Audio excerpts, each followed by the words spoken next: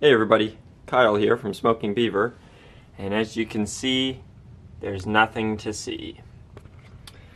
Unfortunately, this grow with the uh, autoflower seed that we got from Ethos Genetics did not come through to fruition. We lost the seed, well I lost the seed. You guys saw in the previous video that it was having a difficult time popping out of its shell, uh, very difficult time actually, and we managed to get part of the shell off that was a great method, and that will work for you guys if you are having a, a seedling that has a shell stuck to it.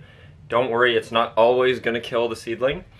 Unfortunately, though, in my case, uh, the seedling was just, it wasn't doing well. I don't know if this seed was maybe a dud from the beginning, or if I had messed something up.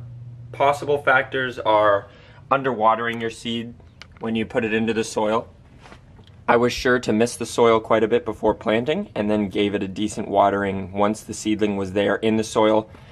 But it is possible that there was not enough uh, water for it at the beginning. Not enough humidity, like a too low of a room humidity could also do that um, because the seed on the outside of the seedling will kind of harden. It'll make it harder for it to crack off. Whereas if you keep it humid, it will soften that shell and it'll make it a little easier for it to slide off as it comes out through the soil uh, not planting it deep enough is also um, a definite sign that it might do what we saw it doing where the seed doesn't come off.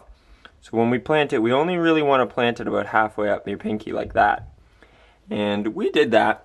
We might have planted it a little more shallow than that, and that could have been enough to make the difference, honestly. So just some things to keep in mind. There will be another autoflower grow, though. It's going to be in this series that you're watching right now. We are going to just continue it once I get um, a new seed.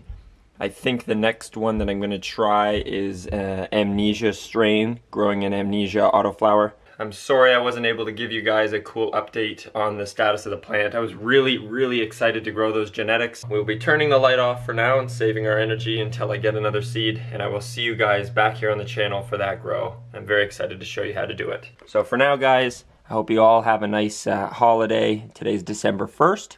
So we're just getting into the holiday season. It's definitely starting to hit home. So I hope you guys all have a safe and wonderful holiday, and I will see you in the next Grow video. Thanks for watching.